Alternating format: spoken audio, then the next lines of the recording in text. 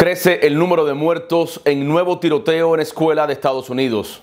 ¿Busca un sitio para vender, comprar o alquilar? Diario Las Américas le ofrece el mejor, dlaclasificados.com donde puede colocar su anuncio las 24 horas del día.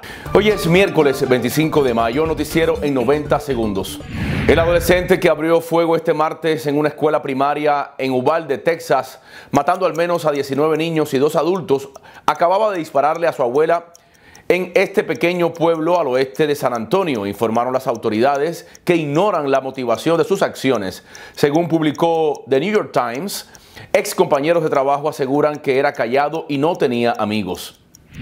Los legisladores rusos aprueban un proyecto de ley que elimina los límites de edad para la incorporación de soldados profesionales al ejército, lo que podría dar a las Fuerzas Armadas una vía para ampliar el reclutamiento. Por su parte, el presidente de Ucrania, Volodymyr Zelensky, dice que su país no cederá territorios a cambio del final de la guerra con Rusia.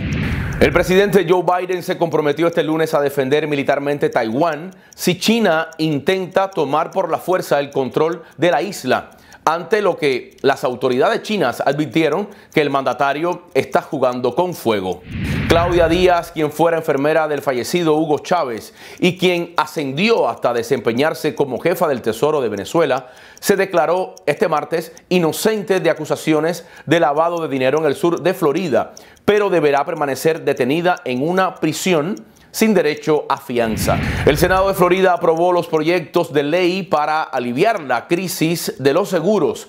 La legislación busca estabilizar el mercado con medidas a favor del consumidor. Para ampliar estas y otras noticias, visite diariolasaméricas.com.